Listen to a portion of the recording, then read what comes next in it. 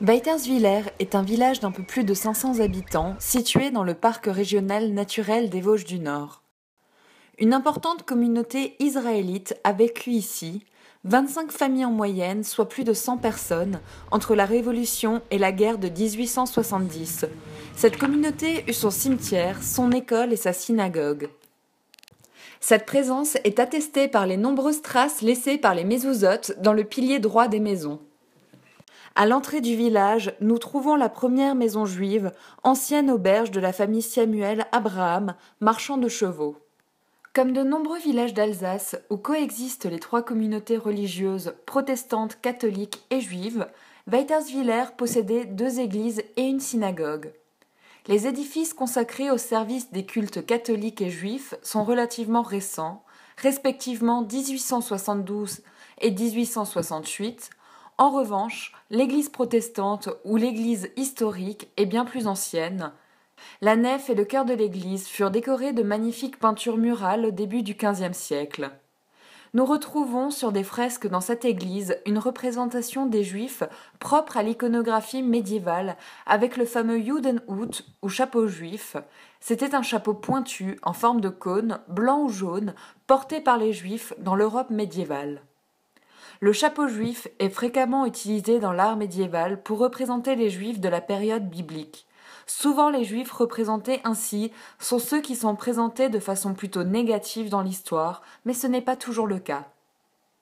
Dans la commune, d'après les témoignages, il semblerait que le mikvé fût situé à cet endroit, non loin de la synagogue, sur cette parcelle où nous avons toujours un point d'eau vive, mais nous n'avons aucun document qui ne l'atteste. Ici, nous trouvons la maison de Lévi Marx, commerçant. La maison qui a servi d'école aux enfants israélites jusqu'au début du XXe siècle est une construction simple à un étage.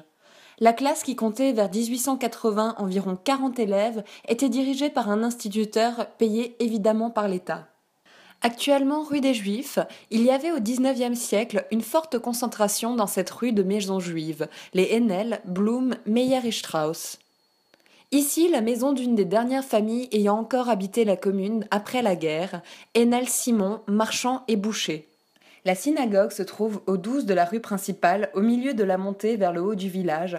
Construite selon les plans de l'architecte de l'arrondissement de Saverne, Louis Furst, elle fut inaugurée le 7 octobre 1868 en présence de représentants de toutes les confessions. Désaffectée en 1923 puis vendue en 1950, elle servit de maison d'habitation à partir de cette date. Elle est actuellement propriété de la commune. Elle possédait une arche sainte qui fut transférée à Momenheim, puis à Strasbourg, où elle se trouve actuellement. La synagogue est répertoriée dans l'inventaire préliminaire des documents historiques de 1996. L'histoire de cette famille Blore est assez singulière. Orphelins, ils furent adoptés au XVIIIe siècle par une famille catholique et furent baptisés. La communauté qui était très pratiquante dépendait du rabbinat de Bouxwiller et elle avait d'ordinaire un représentant en conseil municipal. La maison de Jonas Lévy, fils de Joachim Naum Lévy, une des plus anciennes familles juives de Weiterswiller et une des plus fortunées.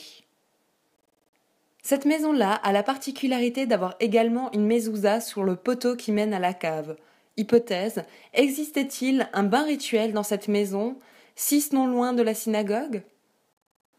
Maison des Meyer, une des dernières familles juives à Weiterswiller.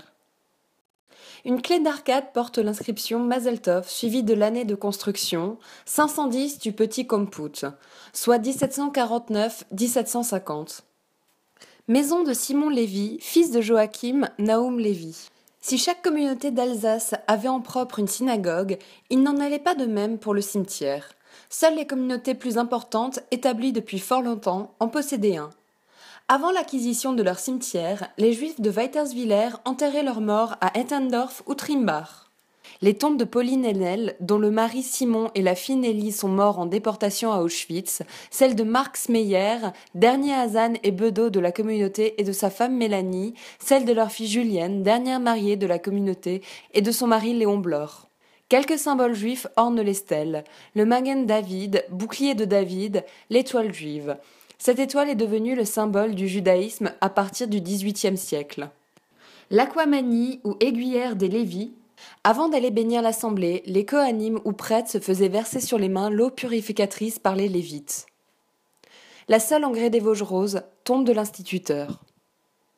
Main du Cohen, ce symbole évoque la bénédiction des Kohanim sur l'assemblée des fidèles. Tombe des frères Lévi, Jonas, Simon et Isaac, morts de façon mystérieuse en 1833 à quelques jours d'intervalle. Autre symbole juif très fort, les tables de la loi. Voici la tombe des derniers habitants de Weiterswiller.